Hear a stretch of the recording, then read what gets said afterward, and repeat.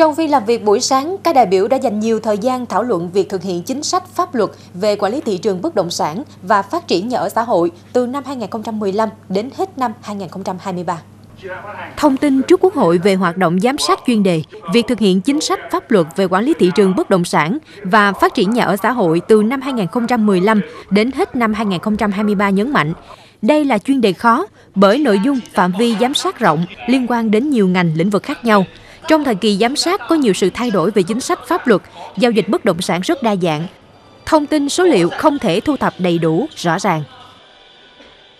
Trong kế hoạch thực hiện của chính phủ thì cũng cần rõ các cái danh mục dự án chậm tiến độ, nguyên nhân và giải pháp xử lý, nhất là những dự án trên 10 năm, 20 năm yêu cầu chủ đầu tư các ngành địa phương có liên quan chủ động phối hợp tham mưu có giải pháp giải quyết dứt điểm hoặc trình có thẩm quyền ban hành những cơ chế cụ thể, có lộ trình, thời gian giải quyết rõ ràng, thực hiện hiệu quả quyết nghị của Quốc hội.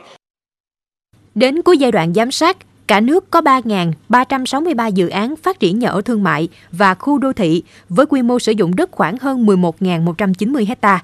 cùng với 413 khu công nghiệp có tổng diện tích khoảng 87.700 hecta. Riêng về nhà ở xã hội, có khoảng 800 dự án với quy mô trên 567.000 căn. Bên cạnh những kết quả đạt được, thị trường bất động sản và nhà ở xã hội còn nhiều tồn tại bất cập, phát triển chưa bền vững, mất cân đối cung cầu, giá bất động sản còn cao so với thu nhập của đa số người dân.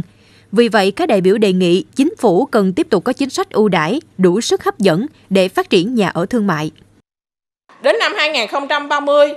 hoàn thành ít nhất 1 triệu căn nhà ở xã hội. Tôi kiến nghị cần có giải pháp riêng về nhà ở xã hội trong dự thảo nghị quyết này. Qua nghiên cứu chỉ thị 34 năm 2024 của Ban Bí thư, tôi kiến nghị bổ sung giải pháp cần có cơ chế chính sách ưu đãi thực chất, đủ hấp dẫn để thu hút khuyến khích các thành phần kinh tế trong và ngoài nước tham gia đầu tư phát triển nhà ở xã hội, nhất là cho công nhân và lực lượng vũ trang, phân tích rõ đối tượng có khả năng thuê,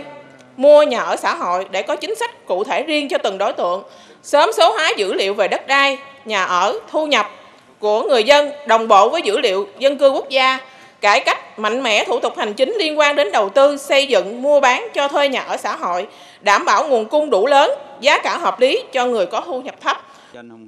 Ngay sau phần thảo luận, Quốc hội đã nghe các thành viên chính phủ có liên quan giải trình làm rõ một số vấn đề được đại biểu Quốc hội nêu về kết quả giám sát chuyên đề bất động sản, nhà ở xã hội.